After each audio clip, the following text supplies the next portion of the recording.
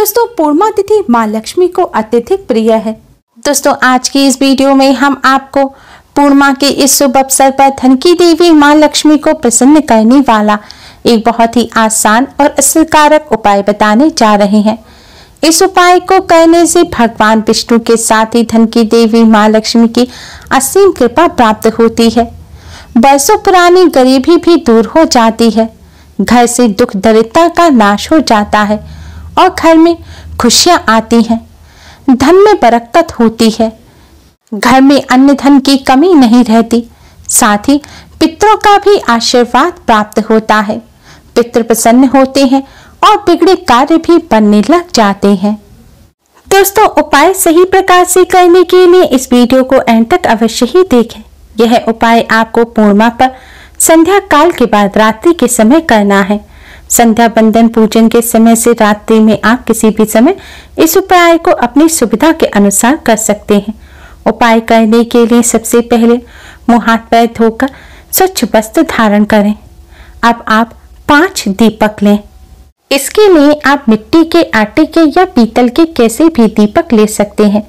अगर आटे के दीपक बना रहे हैं तो शुद्ध जल से आटा मड़ें और आटे में नमक इत्यादि और कुछ भी ना मिलाएँ। अब आप पाँच दीपक एक प्लेट में रख लें। और इन दीपकों में से चार दीपकों में आप रुई की बाती लगाएँ। और एक दीपक में लाल रंग के धागे की बाती लगाएँ।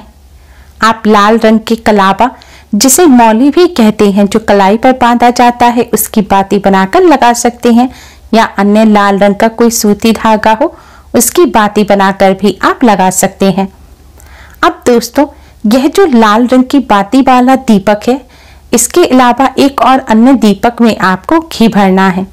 आप चाहे तो सभी दीपकों में घी भर सकते हैं, लेकिन अगर घी सब में ना भर सके तो कम से कम इन दो दीपकों में आपको घी अवश्य ही डालना है। आप अपने मंदिर में शुद्ध घी का या किसी अन्य घी का जो भी दिया जलाते हैं, आप वह घी इनमें भर सकते हैं। ध्यान रखें, इन दो दीपकों में सरसों का तेल ना डालें। अन्य बचे दीपकों में आप सरसों का तेल या घी अपनी सुविधा अनुसार भर सकते हैं। आप चाहें तो मीठा तेल, जिसे तिल का तेल भी कहते हैं, वह भी आप इन दीपकों में डाल सकते हैं। दीपक तैयार करने के बाद दोस्तों, इन दीपकों की थाल में आप थोड़े से साबुत चावल या फिर गेहूँ के दाने भी रख लें। या फिर आप पुष्प की फूल की पत्तियाँ भी रख सकते हैं। अब इस प्लेट को आप अपने मंदिर के पास ले जाएँ। मंदिर में या फिर मंदिर के बाहर इस दीपक की प्लेट को आप रख दें और मंदिर के सामने आसन बिछाकर बैठ जाएँ। अब इन दीपकों में से लाल बाती का जो दीपक है, आप उसे उठाएँ और अपने मंदिर में थोड़े से साबुत चावल या गेहूँ जो आपने रखे हैं, उसमें से थोड़े से रखें और उसके ऊपर इस दीपक को रख दें इस दीपक को आपको भगवान लक्ष्मी नारायण के सामने इस प्रकार रखना है कि इस दीपक की जो बाती है, जो लौ होगी, वह उत्तर पूर्व दिशा की तरफ़ होनी चाहिए। यानी कि उत्तर पूर्व दिशा के मध्य का जो कोण है, जिसे ईशान कोण कहा जाता है, इस तरफ़ इस दीपक की लौ होनी चाहिए। अब आप इस दीपक को जलाएँ और एक सुगंधित धूप बत्ती भी जलाएँ। भगवान लक्ष्मी नारायण को किसी फल मिष्ठान का भोग लगाएँ। अब आप भगवान लक्ष्मी नारायण का पूजन करें। आप भगवान विष्णु जी के द्वादश मंत्र, ओम नमो भगवते वासुदेवाय का 108 बार जाप करें। दोस्तों, पूर्णिमा तिथि भगवान लक्ष्मी नारायण को समर्पित होती है, इसलिए आज के दिन अधिक से अधिक भगवान लक्ष्मी नारायण का पूजन करना चाहिए। भगवान विष्णु के मंत्र का जाप करने के पश्चात अब आप जय माँ लक्ष्मी, जय माँ लक्ष्मी का भी 108 बार जाप करें। आप उंगलियों पर गिनकर या फिर किसी माला पर भी इन मंत्र का जाप कर सकते हैं। इस तरह भगवान लक्ष्मी नारायण का पूजन करने के पश्चात अब आप भगवान लक्ष्मी नारायण को प्रणाम करें और घर में सुख समृद्धि की प्रार्थना करें। दोस्तों, पूर्णिमा की रात को इस तरह भगवान लक्ष्मी नारायण के सामने ईशान कोण की तरफ़ मुख कर दिया जलाने से भगवान लक्ष्मी नारायण की असीम कृपा प्राप्त होती है। घर में सुख समृद्धि में वृद्धि होती है। माँ लक्ष्मी की कृपा से धन में बरकत होती है और घर में खुशियाँ आती हैं।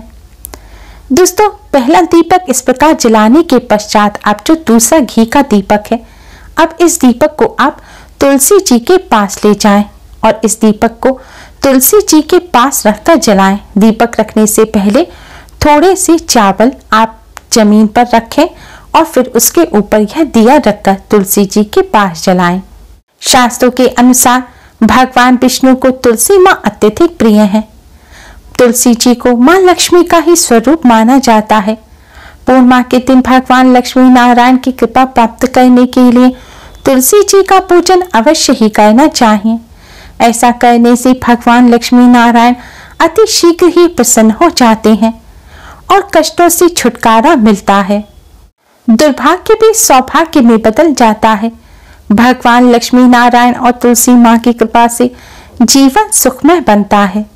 अगर आपके घर में तुलसी जी ना हो तो आप चाहें तो किसी मंदिर में जाकर भी तुलसी जी के पास ही दीपक जला सकते हैं, या फिर आप तुलसी जी का यह जो दीपक है, इसे आप अपने मंदिर में ही भगवान लक्ष्मी नारायण के सामने रखकर जलाएँ और भगवान लक्ष्मी नारायण को प्रणाम कर तुलसी माँ को प्रणाम करें। दोस्तों, अब जो ये तीसरा दीपक है, इसे आपको अपने रसोई घर में रख के जलाना है। दोस्तों, घर में पूजा घर के बाद सबसे पवित्र स्थान होता है रसोई घर, यानी कि किचन। आपको पूर्णिमा की रात को अपने रसोई घर में दीपक अवश्य ही जलाना चाहिए। रसोई घर में यह दीपक माँ अन्नपूर्णा के नाम से जलाया जाता है। दीपक जलाने से पहले स्लिप पर थोड़े से चावल रख उसके ऊपर यह दीपक रखकर जलाएँ।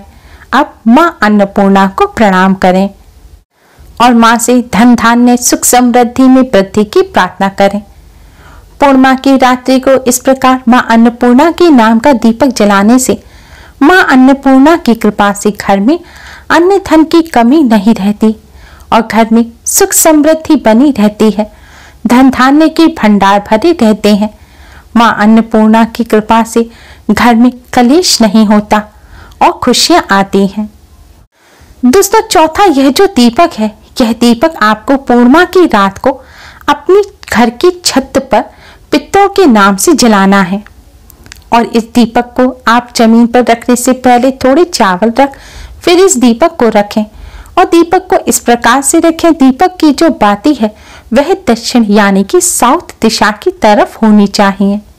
क्योंकि दक्षिण दिशा पितरों की दिशा मानी जाती है, यही पितृलोक होता है। दक्षिण दिशा की तरफ़ रख इस प्रकार दीपक जलाने से पितृ प्रसन्न होते हैं और अपना आशीर्वाद देते हैं।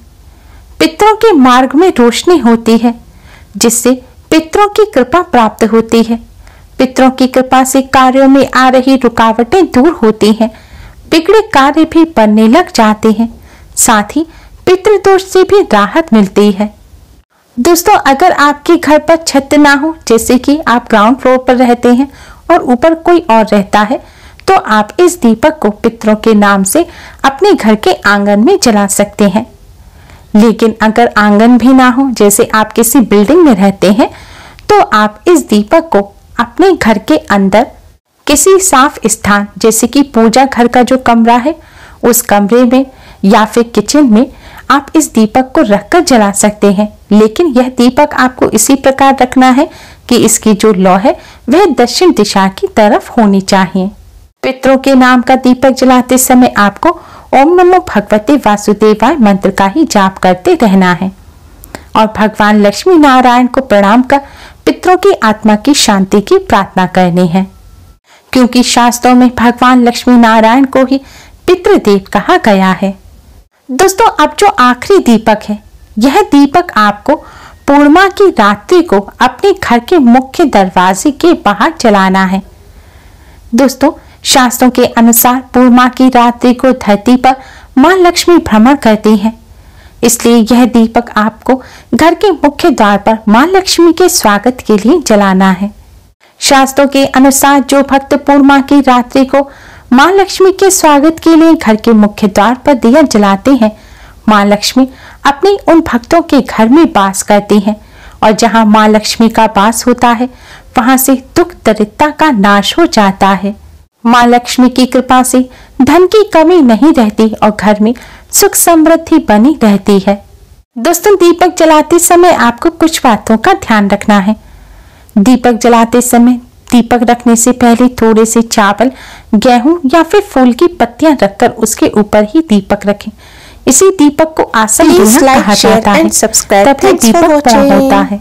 दीपक जलाते समय जूते चप्पल ना पहने आपका मुँह साफ़ होना चाहिए। यानी कि कुल्ला इत्यादि कर लें तमाकू वगैरह भी खाकर दीपक ना जलाएँ। दोस्तों शास्त्रों के अनुसार पूर्णिमा की रात्रि को इस प्रकार दीपक जलाने से घर में सुख समृद्धि आती है। भगवान लक्ष्मी नारायण की असीम कृपा प्राप्त होती है। जीवन में चली आ रही परेशानियाँ दूर होती हैं। पितरों का आशीर्वाद मिलता है। बिगड़े कार्य भी बनने लग जाते हैं। माँ अन्नपूर्णा की कृपा से घर में अन्न की कमी नहीं रहती और जीवन में खुशियाँ आती हैं। Please like, share and subscribe. Thanks for watching.